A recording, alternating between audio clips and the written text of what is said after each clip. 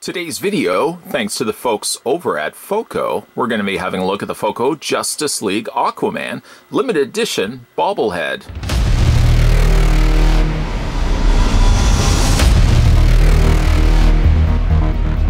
FOCO was nice enough to send me the Aquaman, as well as the Superman and the Dark Knight Returns Batman that we've looked at in previous videos.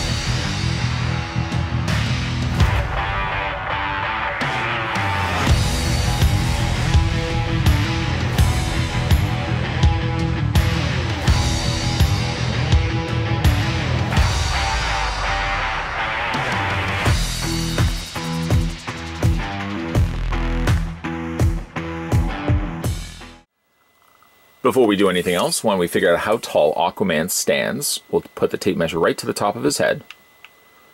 And holding it, this bauble of Aquaman stands 8.5 inches in height. In centimeters, that works out to be 21.5 centimeters. It would be at this point of this review where I would show you how to install, how to put together Aquaman with his display base. This is actually different than the Superman and the Batman that we've already had a look at in the fact that Aquaman already comes assembled to his base. You don't have to put anything together for him. He's finished immediately when you get him out of the box. Doing a comparison between this one and the Superman that we've already had a look at, being that they are both from Justice League, here are the two bobbleheads side by side. Just move this one over a little bit. And Superman right next door. I guess it would also be safe to say that the characters are with display bases that are specific to the character. Superman comes atop of the monuments of, of the Superman monument, and Aquaman stands atop of a series of tidal waves being that he also doesn't require any sort of assembly. He feels a little bit more secure and stable than Superman did because Superman only was standing on his one foot. Um, I guess the only other thing he comes included with is his trident, which does sit a little loose in his hand. It's only because the hand is a little bit more open than the rod that they've got the trident you know, on. So as a result, it sort of sits loose when it's in his hand. I guess you can bring it as far forward as you can and providing that you're not just going to be pushing it back and forth or tilting the bobblehead, you shouldn't have any issues with the trident moving around on you, although it is, like I said, a little on the loose side. The only other assembly I suppose I did was I took the foam piece, because all of these pieces do have foam uh, right underneath their heads. It's just to prevent the bobblehead from moving around while it's in the packaging and damaging it in the process.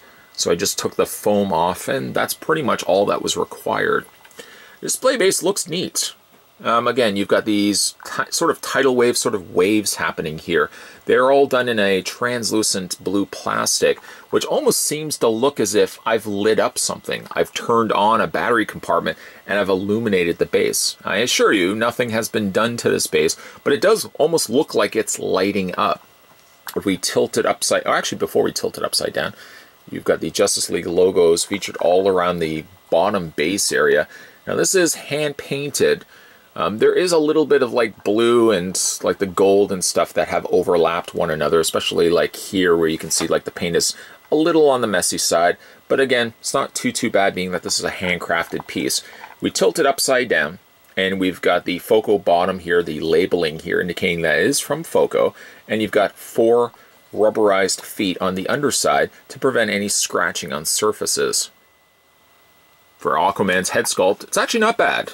I think it looks a little bit more like Jason Momoa than the Superman looked like Henry Cavill. They've even gone right as far as giving him that little scar that's in his eyebrow.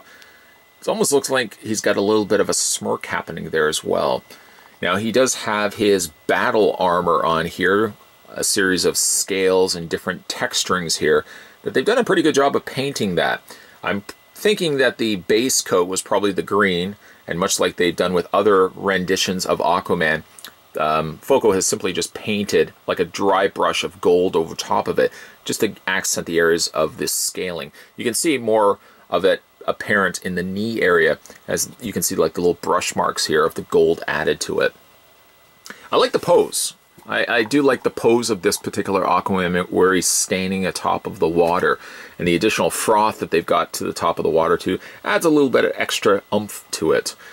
It is a bobblehead, so again, being very careful, you can see there's the spring on the inside attaching the neck to the inner uh, cavity of Aquaman's head. The bobbling action does work. You don't want to be overly aggressive shaking it because, of course, it's going to cause damage to it.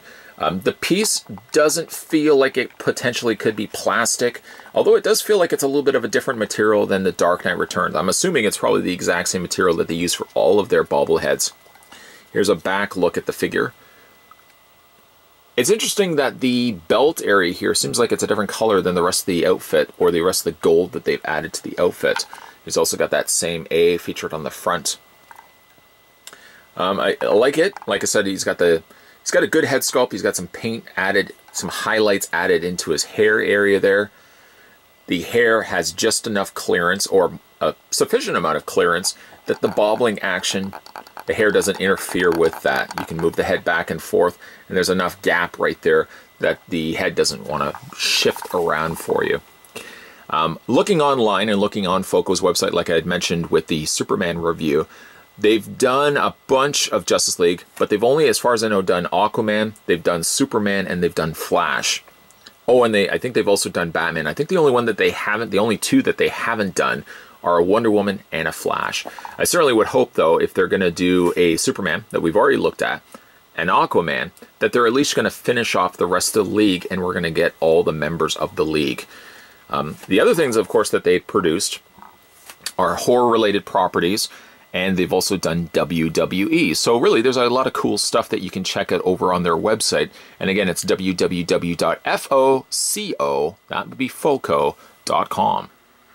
Again, I want to thank the folks over at Foco for making these reviews possible. They were nice enough to send three bobbleheads my way, and we've looked at them over the last three videos. Of the three, I think my favorite is the Dark Knight Returns Batman. There's a lot more complexity to his display base, and for the fact that there's several different layers, that you have the moon behind him as well. It just kind of adds a little extra oomph to the bobblehead.